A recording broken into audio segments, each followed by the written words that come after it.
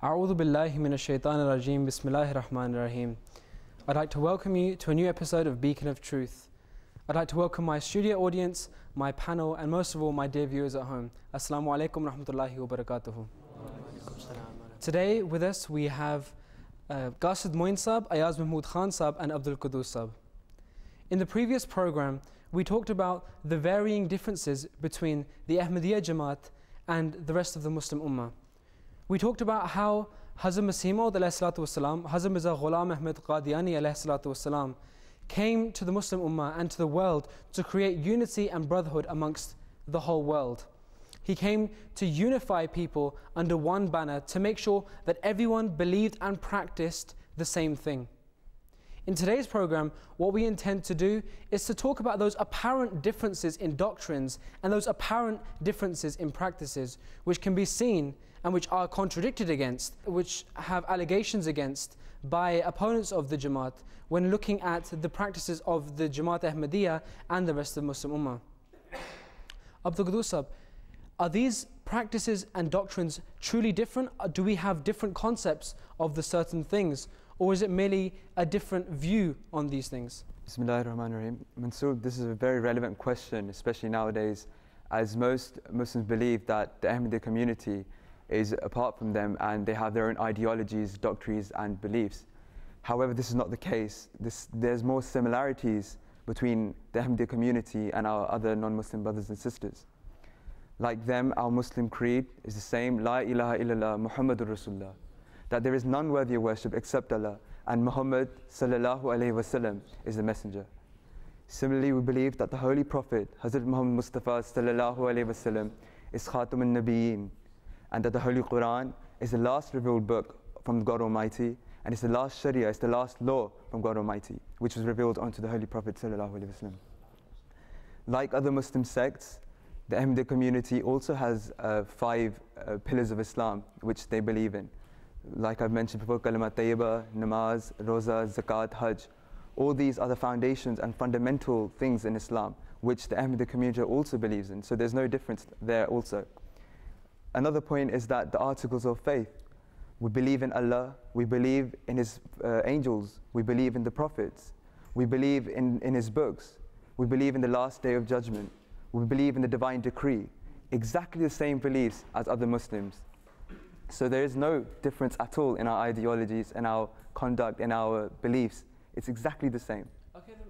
I mean, I guess we're understanding the fact that, okay, we say the five pillars of Islam are the same. We say that the six articles of faith are the same. We're saying that these fundamentals are the same. Then the question obviously arises that why is there a need?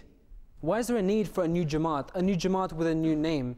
If we believe in the same thing, then what's the need in establishing another community with a separate name and a separate, um, a separate entity in it were? Naturally, this, this is the next question which arises that why do we need a, a new community to be born out of, uh, out of Islam? So the answer is straightforward that the Holy Quran and the Holy Prophet Hazrat Muhammad Mustafa sallallahu alaihi wasallam have prophesied the coming of a Messiah, the coming of a Mahdi in the latter days. The Quran says, وَآخَرِينَ مِنْهُمْ لَمَّا يَلْحَقُوا بِهِمْ This is in Surah Jummah. And uh, similarly, there are many prophecies of the Holy Quran which relate to the coming of a Messiah in the latter days. and we believe that that Messiah has come already in the remote village of in, uh, in the remote village in India in Qadian. We believe that the person whose uh, the signs that the Holy Prophet ﷺ had mentioned was fulfilled in the person of Hazrat Mirza Ghulam Ahmad of Qadian.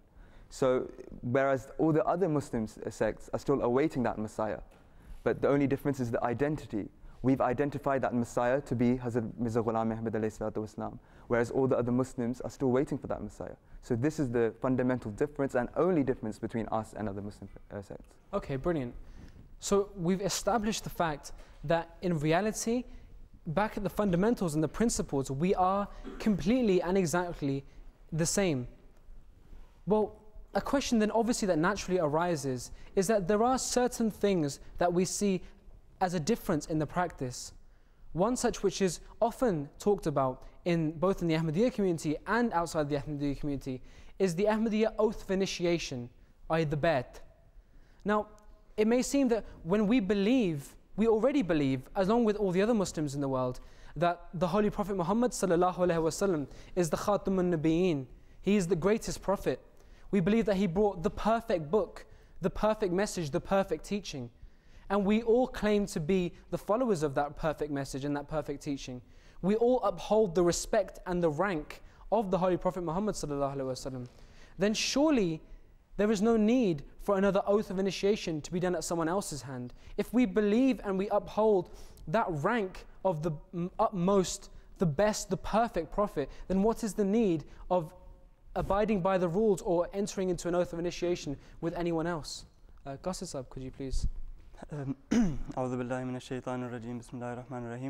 I think this is a very valid question especially from our um, non-Ahmadi viewers, that um, why do we have to do the bayt at the hands of the promised Messiah والسلام? Why, did, why was there a bayt?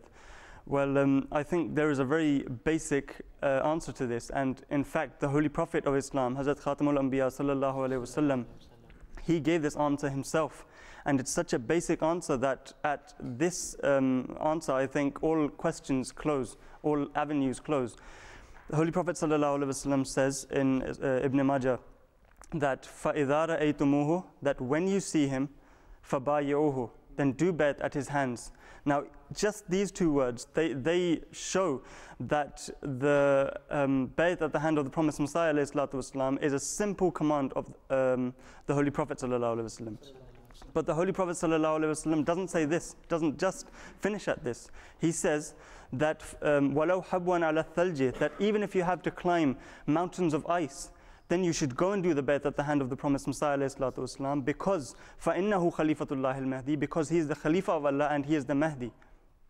This is such a simple answer, but he has emphasized it so much so that he said, even if you have to climb mountains, not mountains, but mountains of ice. so he's, he's, he's drawn attention to this important matter that you have to do bayt at that person's hand when he arrives. Now, not only this, um, in another hadith, we find that the Holy Prophet ﷺ says, it's a very long um, uh, chunk of uh, hadith, but I think I'll just pick out the small bit, the very important bit, fundamental bit. When the Holy Prophet ﷺ says that when the Messiah comes, he will go to the, uh, he will reach, he will go to the sky, he will go to um, a star called the Pleiades, the Suraya Sitara, and he will bring faith back down. Now, what does that mean? Faith isn't a physical thing. Faith, faith isn't something that he will bring back down and lock up somewhere or he will keep somewhere as a physical object. Faith is something we have in our hearts. So when we say that he will bring faith back down to the ground, it means he will instill it into the hearts of all the believers at that time. And at that time, there will be a group of believers who will believe in him, and he will instill that faith, that iman, into the hearts of those believers. And we see in 1889 that uh, the promised Messiah والسلام, did this, did exactly this. He had a, uh, he had a, um, a group of um, 40 people uh, for his community who were ready uh, to do bayt according to the um, command of the Holy Prophet وسلم, at the hand of, of the promised Messiah والسلام. And they did exactly this. And that bayt was called by the promised Messiah himself Toba Husule Taqwa Taharat. That is the bayt for repentance, for, for the acquisition of righteousness and purification. Now, this, if our non Ahmadi brethren say that we've done something which is different, un Islamic, well, then this name itself, it says that we've done something which is completely Islamic, which the Holy, which the Holy Prophet ﷺ wanted to happen. He wanted his believers to have righteousness um, uh, in their hearts. He wanted them to be cleansed. He wanted them to be those who repent. So if there is a difference between us, if, if they say that this is the difference, then yes, we do have a difference. This is the fundamental difference, that we try to be righteous as the Holy Prophet ﷺ said. So yes, if um, the, the, the, importance of uh, doing bayt has been said by the Holy Prophet ﷺ himself. And um, I think um, if, if I just show you the, the form for doing bayt, I think it, it's a very um, uh, good moment to show that this, this is the form which um, uh, a person writes, uh, fills when he enters the Jamaat. And you will find nothing un-Islamic in this whatsoever um, you see this that the person says, Ashhadu an la ilaha illallah, wahdahu la sharika la. That's the fundamental uh, belief of a Muslim. Everything here is Islamic. And when I turn over, uh, in here is just uh, the details which one should uh, fill in. Over here are the conditions of Bai'at, which the promised Messiah والسلام, uh, wrote down himself. And just the first, I'll, I'll read out a few. The first uh, says that the initiate shall solemnly promise that he shall abstain from shirk, association of any partners with God, right up to the day of his death. That's la ilaha illallah, la ilaha illallah in, in itself. That's exactly what the promised Messiah ﷺ taught. Another uh, condition of this is that he shall refrain from following un Islamic customs. That's just, I think, that's exactly the answer to your question that there's nothing different in this. In fact, the promised Messiah, والسلام, who came uh, by the command of the Holy Prophet, وسلم, he taught uh, nothing un Islamic, and what he taught was completely Islamic and according to the teachings and the command of the Holy Prophet. Okay, brilliant. So we've understood completely, I hope, that the, the oath of initiation that the Jamaat Ahmadiyya actually holds is in fact in complete accordance with the teachings of Islam. The things that are mentioned in the, uh, in the oath of initiation, as Qasid Moinsab rightly just said, are in complete accordance, in complete unity with the teachings that the Holy Prophet Muhammad has given us, and in fact are absolutely in no way contradictory to them. All there is is that in Jamaat Ahmadiyya there is a reiterance. It is a it's, it's saying to do these things again. It's it's a reminder that those teachings that our beloved Holy Prophet Khatamun Nabiyyin, Prophet Muhammad said for us to do, it is merely a reminder for us to do them again. And this bai'at is merely a promise. This oath of initiation is a promise to God and a promise to yourself that what you have told us to do, O Allah, we will endeavor to do it. So for someone to say that this is against Islam, this is a non-Islamic practice, is completely wrong. For if anyone is to actually pick up a bad form and to read what's written inside this form, no one can say that the things included in this form are against Islamic practice or teaching. We understand that when a promised Messiah or a promised reformer comes along, when he is sent by God, we understand that the reason why he is sent, there must be some sort of wisdom. There's some sort of knowledges unknown to us behind his advent. A reason behind which God has foreseen and has sent this reformer to come and reform. But in order for a reformer to come, there must be something to reform. There must be something wrong which is going on for the mechanic to come and fix it. Because after all, we say in English, if it's, if it's not broke, don't fix it. So there was obviously something wrong in the people. There was obviously something wrong which was going on in the world which needed and required a promised reformer to be sent. So Ayaz Mahmood Khan Sahib, could you shed any light on this? What were those things that were going wrong? What was going wrong in the nation that a promised reformer had to be sent? Well, Mansoor, if we look at the history of religion and we see the purpose of any prophet, we will see that they are sent for one primary purpose, and that is to establish unity in a society which has forgotten about their true one God.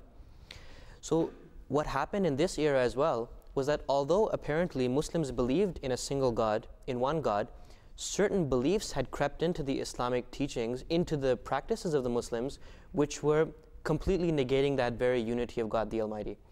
And the promised Messiah, السلام, as per the prophecy of the Holy Prophet Muhammad, وسلم, came to rejuvenate and reinstate that unity of God into the hearts of people. And this is not a mere claim. We see that practically this was happening because the concept of the physical ascension of Jesus salam and his physical descent and then the attribution of godly attributes to that prophet of God who was a humble servant of Allah was a perfect example of how the unity of Allah was being forgotten.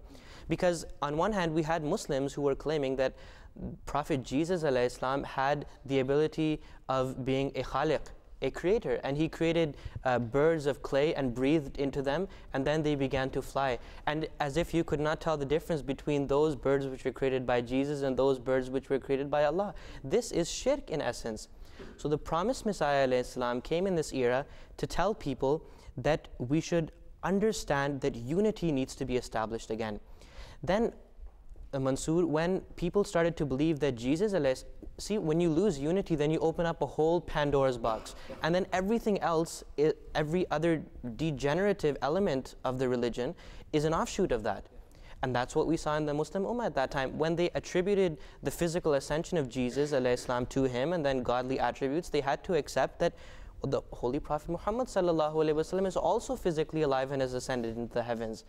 And then they had to believe that the Mi'raj or the spiritual ascension of the Holy Prophet Muhammad وسلم, which was a wonderful, sublime spiritual experience of the highest degree, that was also physical as well.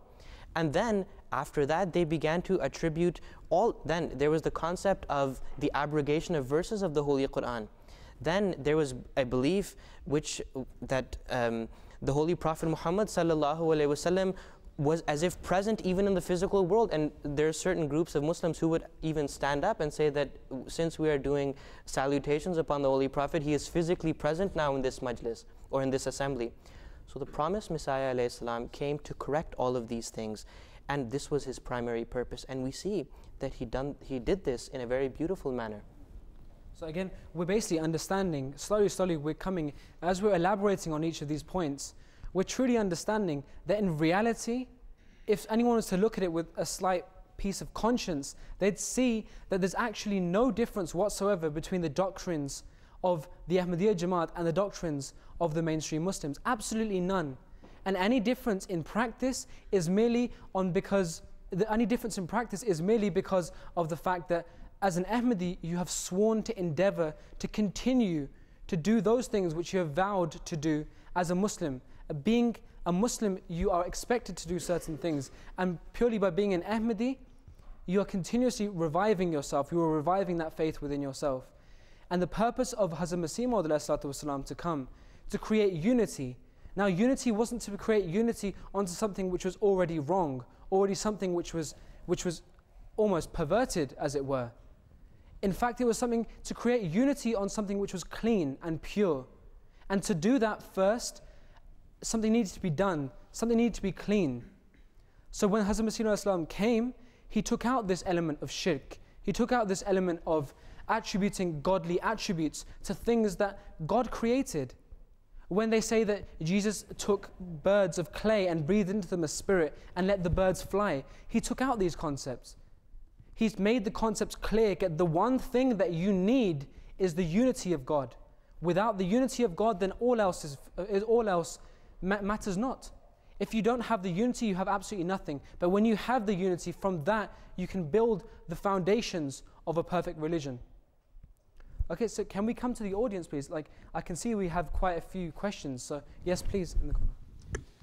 Assalamu alaikum. Um, Ayaz Khan Sahib mentioned that um, at the time of the promised Messiah Islam's advent, um, there were many negatives in the Muslim Ummah. Uh, one of the things that Ayaz Sahib mentioned was um, about the ascension of Hazrat Isa. The question I have is Did um, Promised Messiah Islam himself not at one stage believe that Hazrat Isa Islam was also alive in heaven? Okay, well, brilliant. This is a question which is often asked and which is often beautifully replied to, and I'm sure that Ayaz Khan will shed light on this matter. The question is that at a certain point in time, Hazrat Mirza Ghulam Ahmad Qadiani himself believed that Jesus was alive in heaven and had physically ascended. And now, standing here, we as the Ahmadiyya community say that no, in fact, he did not raise physically to the heavens. So there seems to be an apparent contradiction here. So, Yasmin Khansab, could you please shed some light on the matter? Absolutely. It is true that at one time the promised Messiah والسلام, along with the other Muslims, believed that Jesus والسلام, physically ascended into the heavens and that he would physically descend. But if we analyze this, this is something which shows the innocence of the promised Messiah والسلام. Because as the other Muslims believed, he too believed the same thing and he had great reverence for the Pro for Prophet Jesus والسلام. But one thing which we must understand is that the knower of the unseen is only Allah. That's why the Holy Quran says that Alimul Ghaibi, that He is the knower of the unseen, Allah. فَلَا يُظْهِرُ عَلَى غَيْبِهِ إِلَّا مَنِ ارْتَضَى مِن رَسُولٍ That He reveals His knowledge of the unseen upon his messengers, upon those people who he appoints. Now, yes, the promised Messiah السلام, believed this, but when he was appointed as that Jesus السلام, who was to come in the latter days, then the promised Messiah السلام, states that Allah told me through His revelation that Jesus Islam had in fact passed away a natural death. And then He taught me to find those verses in the Holy Quran which prove the death of Jesus. And He, that is Allah, told me the ahadith which also showed that Jesus Islam had passed away a natural death, and that you, O Mirza Ghulam Ahmad Islam, have come as the second manifestation of that Jesus Islam. If the promised Messiah Islam, God forbid, was a false man who came with a hidden agenda and he knew that he was going to claim to be the second manifestation of Jesus Islam, then he would have never ascribed to this belief. But the fact that he believed this initially and then Allah told him otherwise, and then he also promoted that concept, is proof of the fact that prophets only state that which Allah the Almighty teaches them. And so too is the case with the promised Messiah. Islam.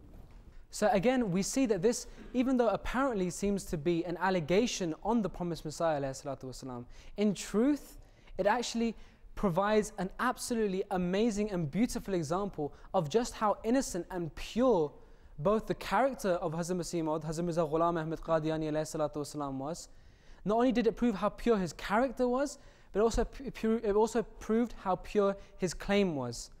That at one point, when he did not have the knowledge and the wisdom given to him by Allah subhanahu wa ta'ala, he, he said one thing. He said that yes, Jesus was alive in heaven. But as soon as Allah Ta'ala gave him that knowledge, he then openly said, Well, I didn't know it before. But now that Allah Ta'ala has given me that light in my mind, has given me that knowledge, I now openly say that no, I do not believe in this. And in fact, I now believe that he did not physically go to heaven, and that in fact he died here on earth. So, this, in every sense of the way, proves the truthfulness and the purity and the innocence of Hazrat Masih's claim. And in no way can be this be said against him. Yes, please. Yes.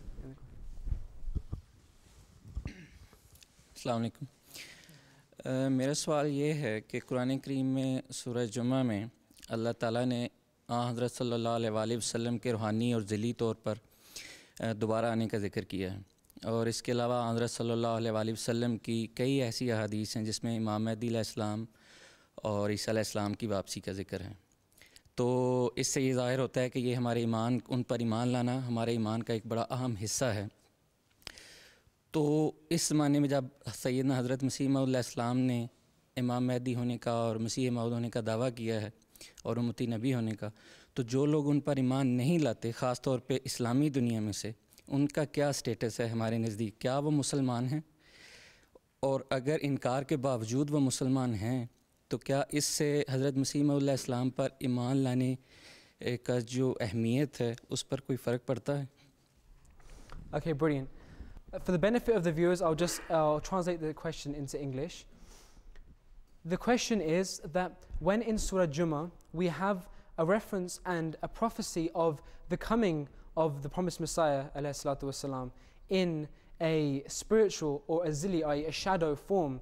And when we have the numerous ahadiths that point towards this same fact, then in na- today's, today's nowadays age, when we see that some people are rejecting that same claim of the promised Messiah والسلام, and some people are, then what is our stance on that? when we see ourselves as Jamaat Ahmadiyya as having accepted the claim of the promised Messiah, Hazrat Mirza Ghulam Ahmad Qadiani والسلام, and we see that others have not accepted that same claim, then do we call them Muslims?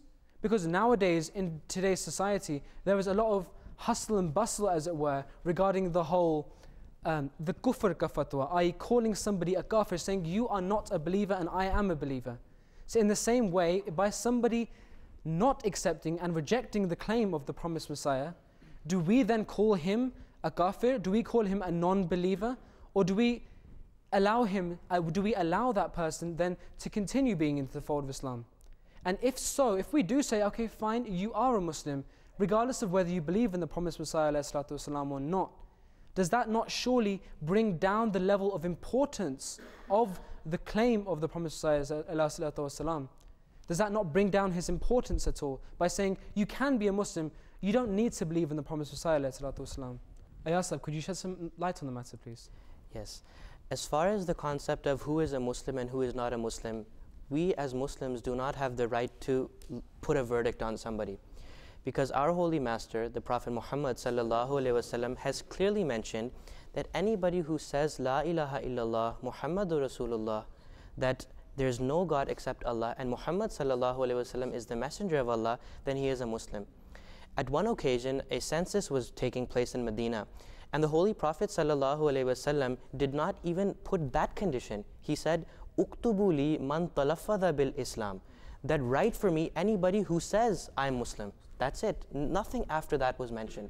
So anybody who claims I am a Muslim, we as Ahmadis accept him to be a Muslim. Now, as far as this concept of kufr or disbelief is concerned, there's different levels of this disbelief. The Holy Prophet wasallam has even mentioned that man taraka salata muta'ammidan faqad kafar. That anybody who has left his daily prayers intentionally, he has done kufr. This does not mean that he is outside the pale of Islam, not at all. This means that he is a Muslim, but he has rejected that specific injunction of God the Almighty. So too is the case with those brothers of ours who are Muslims, but they have not yet recognized the promised Messiah. والسلام. We say this not out of hatred that so and so is a kufr, is a kafir. This is not our jurisdiction to do so. We have extreme love and great sympathy for our brethren we consider ourselves fortunate that we have been granted that guidance of Allah the Almighty to recognize the Imam.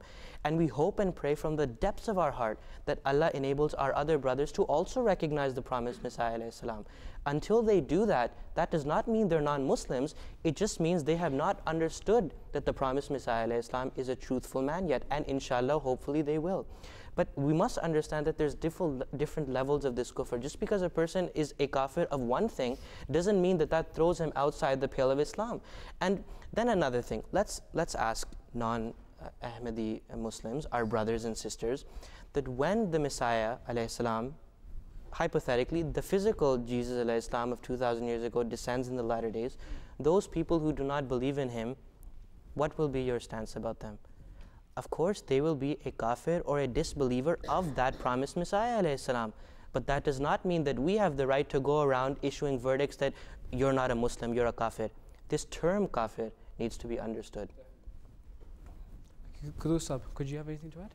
Yeah, uh, with regards to one of uh, a narration that we see, um, is that Hazrat Osama anhu, he was uh, he was came back from a, um, a war and he said to the Holy Prophet ﷺ that um, today I've, I've killed such and such person um, as I knew that he, he, he claimed to be a Muslim. He said, La ilaha illallah Muhammad Rasulullah, but I knew that deep inside he had truly not accepted.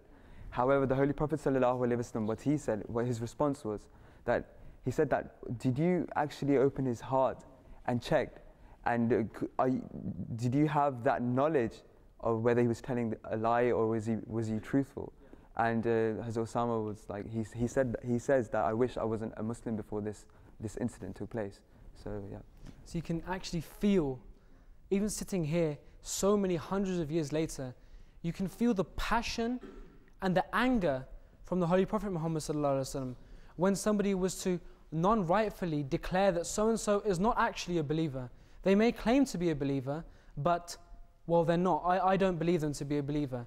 And if we, as Muslims, be it Ahmadi, be it non Ahmadi, if we claim to be Muslims, we claim that our perfect example, our perfect person to follow is the Holy Prophet Muhammad. And he had such passion regarding saying someone has Iman or not, saying whether someone is a believer or not then for us to walk around in day-to-day basis and over small things say, no, you're a kafir, no, you don't have belief, no, well, you're not a Muslim, you've fallen out of the pale of Islam. For us to go around saying these sorts of things is completely opposite and derogatory to the message of Islam. It completely goes against the example of our perfect Prophet, Khatamun Nabiyyin, Hazrat Muhammad Mustafa sallallahu alaihi wasallam. Following the last few episodes, we've received numerous emails some of which saying thanks, some of which expressing their gratitude, some of which giving their comments, and some obviously expressing their questions. Now, I'd just like to go through a, a few of these emails which have been given to us, um, just, to, just to show that we are thankful and we're, gr- we're grateful for your input from you at home. A question which was raised um, on a previous episode was one regarding the term used summa sakata. Now, this was a term which we portrayed in a certain way and which has caused a, a, a question to arise from our viewer Zubair Sab um, on uh, via email. So, uh, Qudus Sab, um, Summa Sakata was a term which was used in a previous episode. Could you please clarify?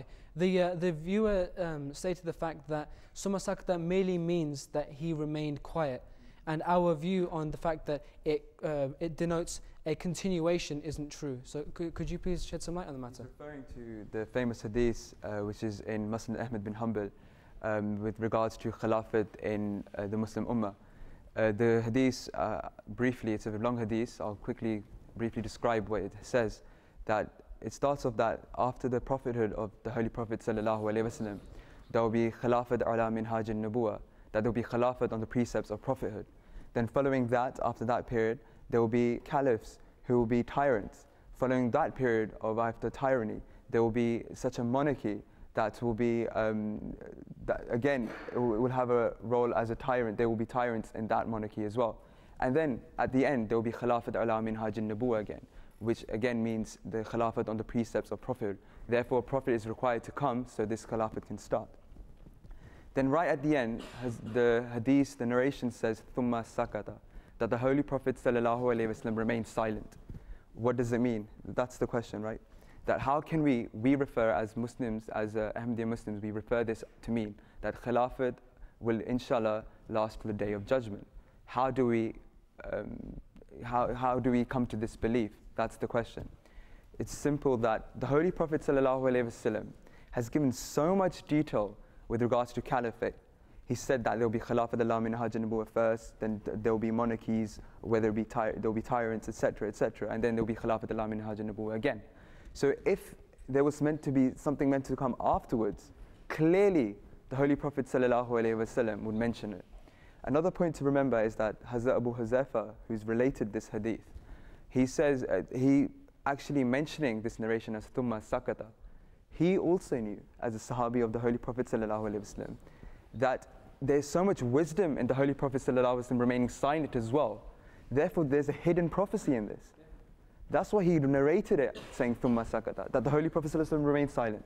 Meaning that, Alhamdulillah, by the grace of Allah, and inshallah, that this Khilafat ala minhaj nubuwa which is a continuation of the first Khilafat ala minhaj nubuwa will last to the day of judgment. This is where we uh, gain our belief from that this Khilafat will last to the day of judgment. Okay, brilliant.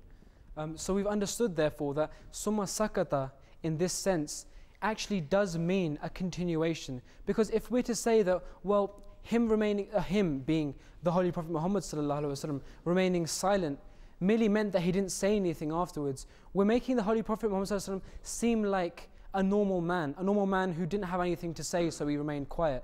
Whereas any Muslim or any common sense owning Muslim would surely say that anything that came out or didn't come out of the Holy Prophet Muhammad's blessed mouth should have some, not should have, does have, and did have a blessed wisdom behind it. And therefore, by the Holy Prophet Muhammad wasallam remaining quiet, it had a grand and hidden prophecy for anyone who wishes and who has the eyes to see. Okay, we have again we have many many questions. Um, yes, yes, please. Um, with your permission, um, I have a point now question which will take us back to the question asked by my brother about the truthfulness of the promised Messiah salam who believed that um, Hazrat Isa salam, um, um, physically was ascended to the heavens. And then later he changed his belief when God had already um, told him that this was not what happened. And then he taught him, I mean, he showed him the light of the Holy Quran, teaching him himself what it actually meant. Um, this is a point raised mostly by Muslims. So um, I'll reference, I'll, I mean, I'll take them back to the Holy Prophet that this has actually happened to him as well in his, in his lifetime. Um, there was once that a Jew had a, an, an, argument with a Muslim about um, whether Hazrat Musa salam was a greater prophet or Hazrat Muhammad sallam was a greater prophet.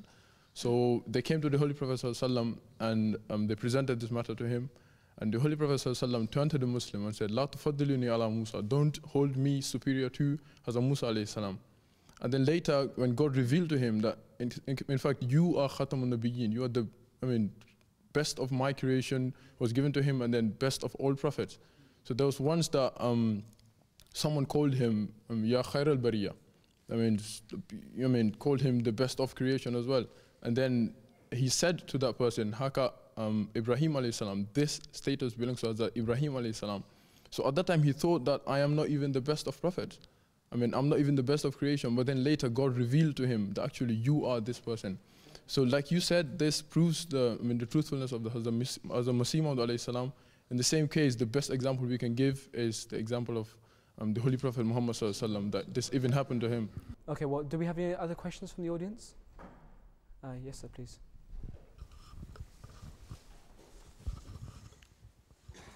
um, we see from the Quranic verses and the supporting hadiths that um, Hazrat Isa al Islam has died a natural death. Um, but is there any evidence from the Holy Bible that we can prove that um, Hazrat Isa, al- Hazrat Isa al Islam has actually died a natural death?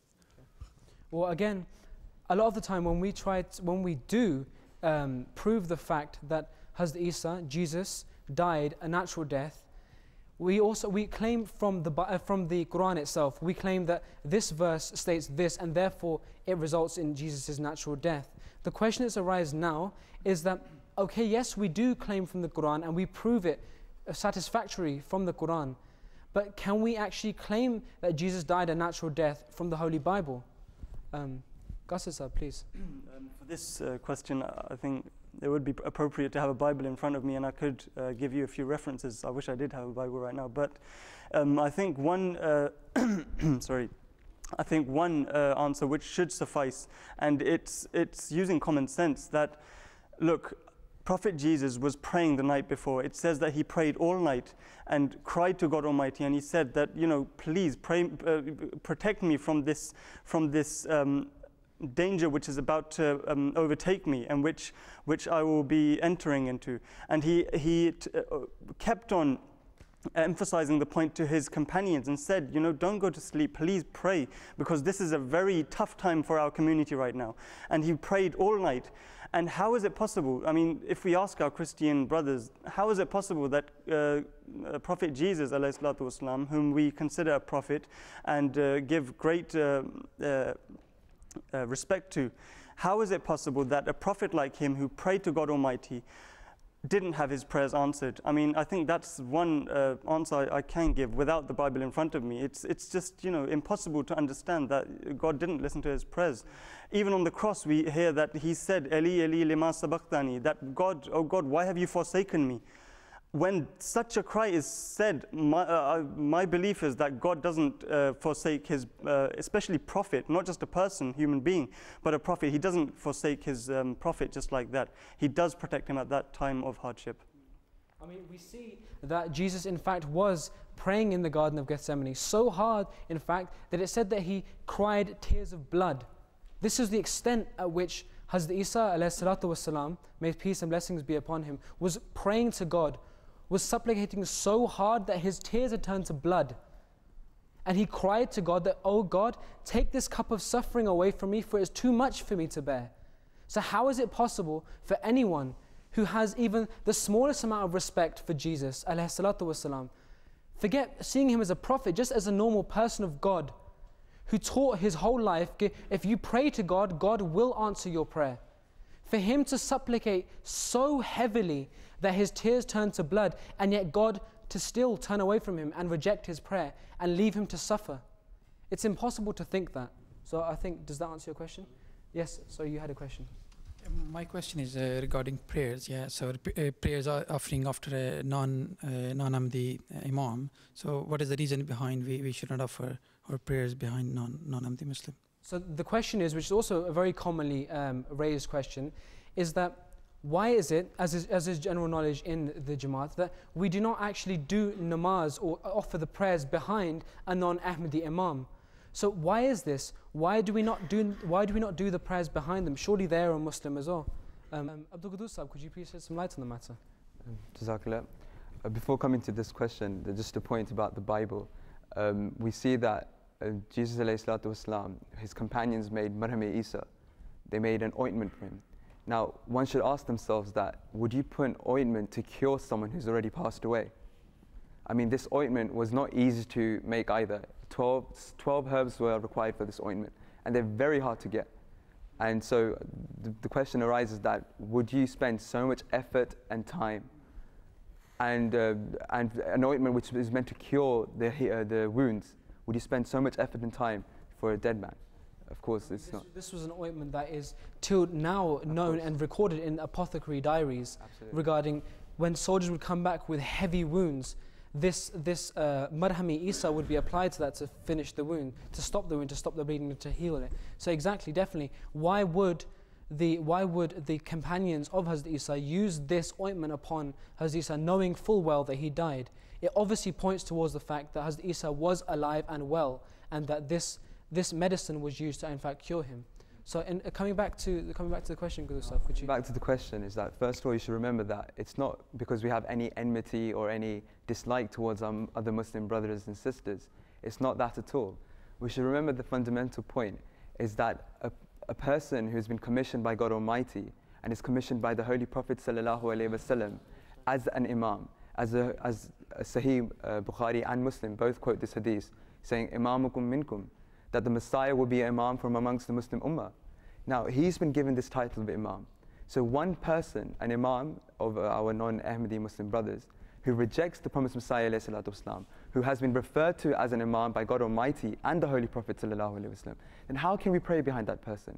His belief is incomplete with, with reject, well, by rejecting the promised Messiah, والسلام, because as what Qasid Saab mentioned before, that the Prophet, Holy Prophet ﷺ says, فَإِذَا رَأَيْتُمُوهُ That when you see him, فَبَايِعُوهُ Then do bet, be, uh, uh, alledge yourself with him. And do allegiance at his hand. Oath, do an oath with him that you should help his um, Jamaat and his, um, his community. So that's the first point. The second point to remember is that when we do, um, we see that all other Muslim sects, they have fatwas of kafir against each other. They, they, say, they said that, oh, a Shia will say to a Sunni that you're a, you're a disbeliever, and vice versa.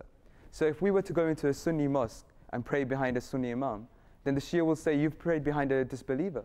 So this is a no-win situation for us at the moment. Another point to remember is that when we enter a mosque of our non-Ahmadi brothers and sisters, they say, oh, you've made it unclean, unpure, you've polluted it. Again, we have no, we have no choice. So, what, first of all, it's a contradictory question. Why do they want us to pray behind them when they say so much against us? And if we don't pray behind them, they'll be asking, why do you, why do you not pray behind us? So, I think that will suffice. Exactly. I mean, in the time back in the time when Ahmadiyyat was in its preliminary stages, when an Ahmadi would come into a mosque and do namaz in a, a Ahmadi mosque, they would come and they would rip out the ground, they'd wash it, they'd do everything to it to say this ground has become unclean because a disbeliever has pr- prayed on there. In the fatwa or the, uh, the decisions by Hazrat Masih he has said that it is not even us that has started it.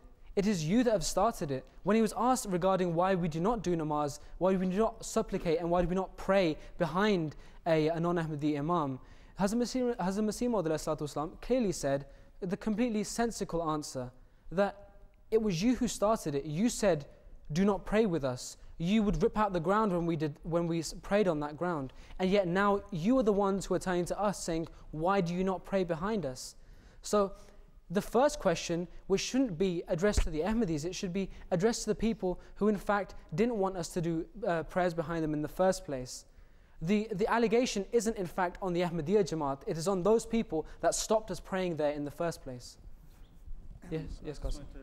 Add a point on is that um, we, we might have any uh, some non-Muslim viewers watching at home, and they might think that well, n- no non-Muslim is allowed in our mosque because we were talking about ripping things out of the ground. So obviously, I think I'd like to clear for them that that's not our stance. It might be the stance of other Muslims, but our stance is that any non-Muslim is allowed in our mosque and is allowed to pray there, as uh, other people allow us to uh, pray in their mosque. It's a you know intermixing society. We don't believe in completely cutting ourselves away from other societies. Very briefly, do you have anything Yeah, yet and this is proven by the ahadith of the Holy Prophet Muhammad sallallahu alaihi wasallam. When a Christian delegation came from Najran, the Holy Prophet sallallahu alaihi wasallam said that you can pray here, and they were facing the other direction of the Kaaba, and they said we should go out and pray. The Holy Prophet said no, you can pray here. This is also a house of God, a house of worship.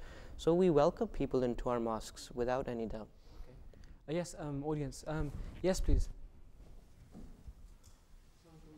To add a point regarding the previous question uh, on the purity of his claim, uh, in Izala Auham, Hazrat Masih writes that uh, I, Allah Ta'ala revealed to me that I am Adam, Hazrat Adam, and no one said anything. No one like made any allegiance, like alleg- uh, allegation against his claim. And then Allah Ta'ala says, He writes that Allah Ta'ala told me that I'm Hazrat, uh, Hazrat Musa, and then Hazrat Yunus, and then Hazrat Ibrahim, Islam. And then he also says that Allah Ta'ala told me that I'm Hazrat Muhammad, sallallahu alaihi wasallam, and no one said anything. But when, when Allah Ta'ala told me that I'm Hazrat Isa, then like everyone just went against him and started putting uh, allegations of kufr against him and calling him na- names and being rude against him and just Jazakallah. Yes, please. Assalamu alaikum. Coming back to your earlier um, answer where you said Jesus did not die on the cross, if Jesus did not die on the cross, what happened to him or where did he go? Okay, right. So the question that's been raised is that if we believe that Hazrat Isa, wasalam, Jesus, son of Mary, did not in fact die on the cross, then obviously the question that arises is, okay, well he hasn't died on the cross, then where did he go? Um, Ayaz, Saab, could you please talk about this? With regards to the journey of Jesus salam after his being saved from the cross, the Ahmadiyya Muslim stance on this issue, which the promised Messiah salam presented, and not just the promised Messiah salam, the promised Messiah salam has said that other research scholars have also hinted towards this as well. But I have researched all of these separate facts and compiled them into one concise book. If anybody wishes to read up upon this, they should read the promised Messiah salam's book, Jesus in India as far as what we believe, we believe that when Jesus Islam was saved from the cross, we believe that no prophet can go without fulfilling his mission. And if we see realistically in Palestine where Jesus Islam came, there was only two of the 12 tribes of the house of Israel who, the, who Jesus Islam was to preach to. Those two tribes, for the most part, did not believe in him. So the promised Messiah, so the promised Messiah Islam says that Jesus Islam had to fulfill his mission, and in order to do this, he traveled to those ten tribes of the Bani Israel which had not yet believed in him. And the, Jesus Islam said that when I go to them and convey my message to them, they shall believe in me. And through historical reference, we can prove and other scholars have also written this that those 10 tribes resided around the area of Afghanistan, Kashmir, India, these places. So Jesus Islam made his route that way, that way, and he fulfilled his mission. And after successfully completing his mission and conveying his message to the 12 tribes of the house of Israel, then he died a natural death at the age of 120, which is also uh, stated by the Holy Prophet Muhammad wasallam in a hadith of Kanzul Ummal that the that Jesus Islam lived until the age of 120. So, in fact, we can actually see that anyone who says that Jesus died upon the cross, when we see that the fact that the only two of the, uh, of the families of the tribes of Israel were present in the area where um, Hazrat Isa resided, then we can actually see that him dying there would be a failing of his mission. And if we respect Hazrat Isa and Jesus والسلام, to that extent of a prophet of God, how can we say that Jesus died without fulfilling his, his purpose, his purpose as a messenger, his purpose for existing, without completing his message? It's impossible. Because if he failed to complete his message, then surely this would be an allegation not just on Jesus, but on God as well. Why did God send a prophet with a message yet not enable him to complete it? Um, yes, please, can we have more questions? Um, yes, please, in the back. Um, my question is um, that the Prophet ﷺ, he was a universal prophet, right? And uh, he came for the whole world. And uh, we believe in La ilaha illallah Muhammad Rasulullah, and we say that there's, um, we do pray and uh, follow Islam as the Prophet ﷺ, um, um, taught it to us. So after we say La ilaha illallah Muhammad Rasulullah, why do all these Muslim scholars still give fatwas on us as um, that we are kafir? We do try to create peace. We do say love for all, hate for none, but after all, still they say um, these Ahmadis or Qadianis are kafir. Okay, well, this is, a, this is a very basic question, one which is often talked about in not only family discussions but absolutely everywhere. That when somebody is saying one thing that I am a Muslim and La ilaha illallah Muhammad Rasulullah, then who has the right, who has that authority stamp to put that stamp on that person's heart and say, well, you are not a believer? I mean, this, this is a question which we've, we've discussed already in this program. And the simple answer is that they can't. The simple answer to this entire enigma is that you can't. At no point with absolutely no stamp of authority, can you go to someone and say, No, you say La ilaha illallah Muhammad Rasulullah, but you're not a Muslim?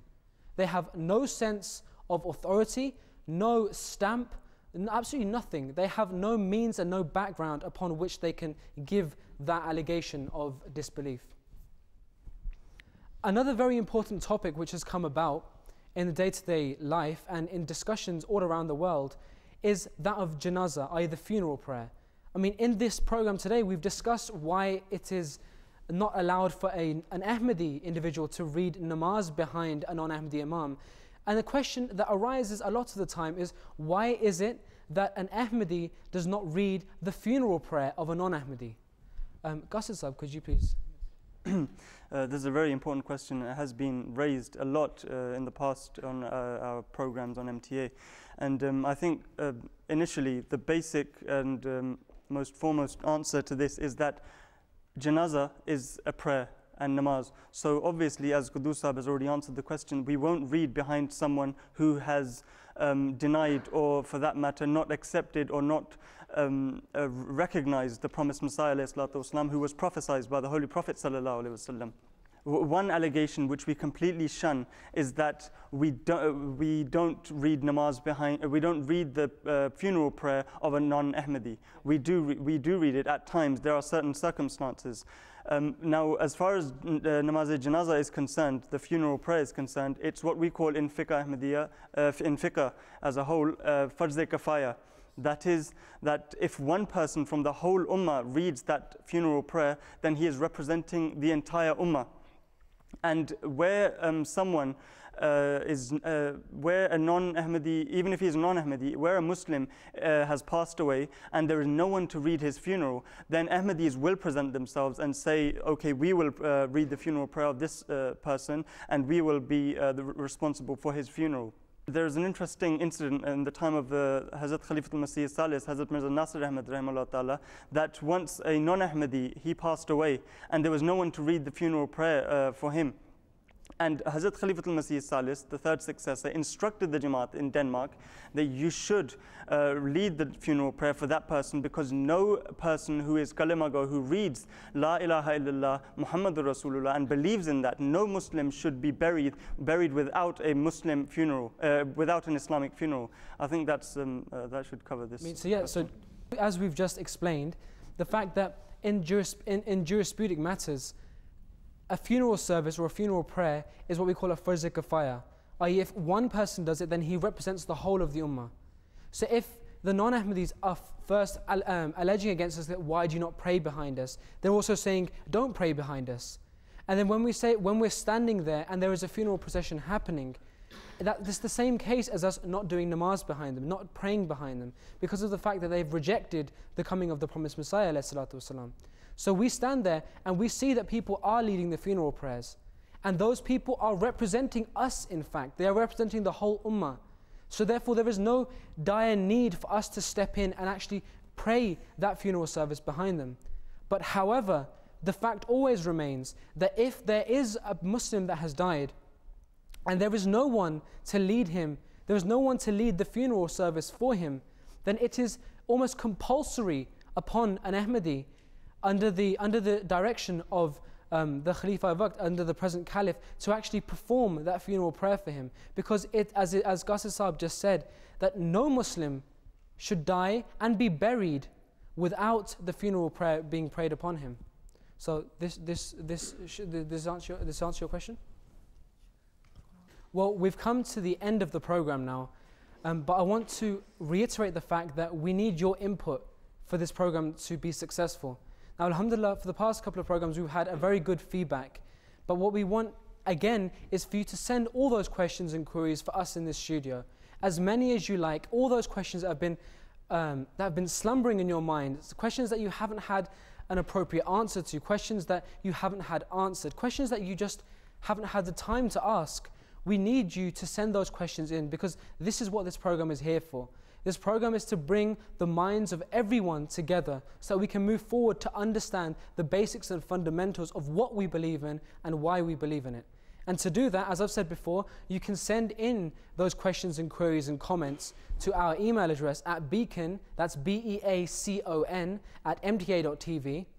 You can also text them in. The number for the text is 0044 777 5593719. And recently, to, for your own for, for your benefit, we've also added a voicemail system into the system, which the uh, the number to call for that, so which you can leave your messages and uh, questions on, is 0044 2086 878032. Also, you can view the, uh, the programs which have been um, shown here at MTA and the Beacon of Truth um, on our website on YouTube, which is www.youtube.com forward slash MTA online one. That's www.youtube.com forward slash MTA online one. Um, I'd like to thank our studio audience here and my panel. Um, and most of all, I'd like to thank the audience at home. Jazakum Allah jaza. And inshallah, we will meet again next time. جزاکم اللہ حسن الرضا السلام علیکم ورحمۃ اللہ وبرکاتہ.